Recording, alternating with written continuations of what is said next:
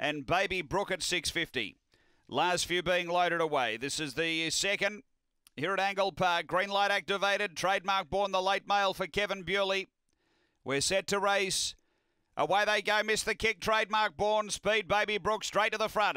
Out by two early on Aston Sibel and out wider Emily Skimmer improving sharply. Uh, then came Webleg Breeze, late Miss Island, trademark born, but up to the turn, Emily Skimmer has zipped around the field. Oh, it ran wide there. Might have uh, just gone a miss slightly. Uh, Baby Brook held the lead again, and Baby Brook has beaten Aston Sibel. Trademark born flew home. Then Webleg Breeze uh, from late Miss Isle. And uh, Emily Skimmer just did not take that home corner well. The time is around 20.31 after the running of race two.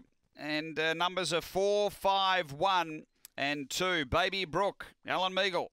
Number 4 has been too good. Second to 5, Aston Sabell. Uh, Paul Fagan and third to 1, Trademark Born for Kevin Bewley. It's 4, 5, 1, 2 fourth after Angle Park. Race number two.